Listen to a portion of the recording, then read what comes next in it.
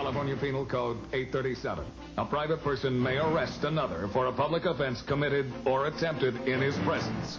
This is known as a citizen's arrest. It's a big city here. A lot of crime. Police can't handle it all. That's where I come in. I'm Walt Newton.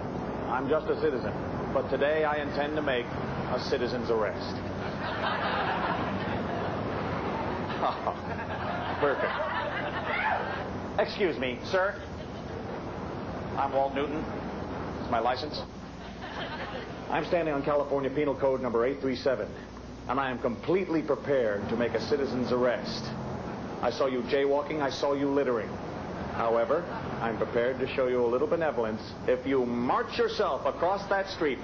Cross at the green, not in between, and you know what Hootie the Owl says. Who?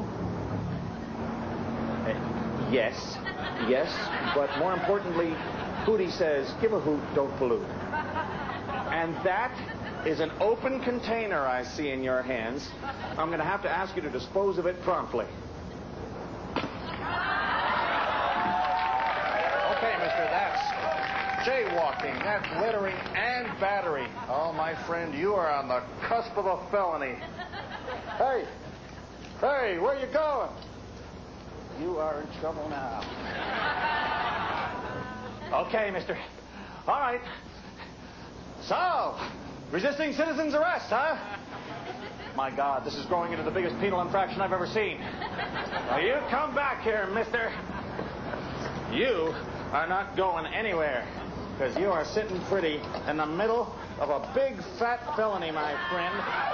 You are not going anywhere now, buddy boy. We're just going to sit here and wait for the authorities. What are you doing? Hey, that hurt. Hey, ow, ow.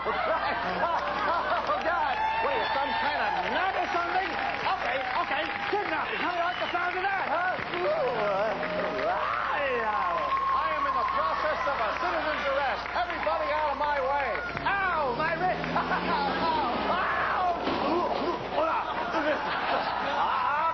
running a stop sign. That does it.